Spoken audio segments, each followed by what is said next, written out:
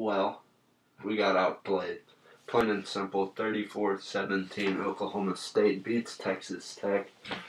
Um, poor performance offensively again uh, for the Red Raiders. Um, what can you say? We're just not producing the way we were under Mike Leach. That all, that's all there is to it. Um, three and three on the season, uh, one and three in conference play.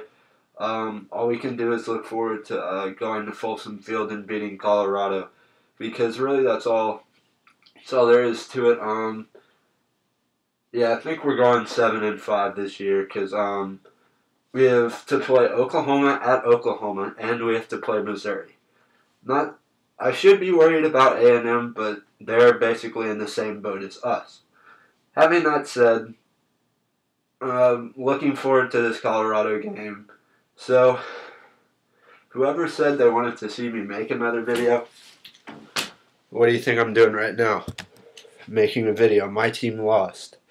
I know it took me a couple days to uh, make this video, but hey, I did it. I didn't get to see this game on TV, listen to it on the radio. Uh, we had a couple picks defensively, but overall we didn't play well.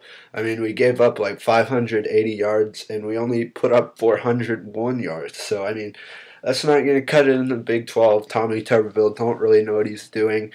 Um, besides screwing up, that's all he's doing, really. Um, I mean, not, I'm not saying I could coach better than him, but hey, three and three. Uh, Mike Leach brought us to a bowl game the 11 years that he was there. I'm just hoping we get the six necessary wins to get into a bowl game. That's all I got to say. Bring on Colorado.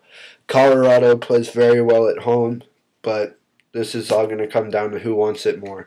So that's it for me, guys. I will see y'all later. And whoever wanted me to make this video, this is for you. So. Peace. Later.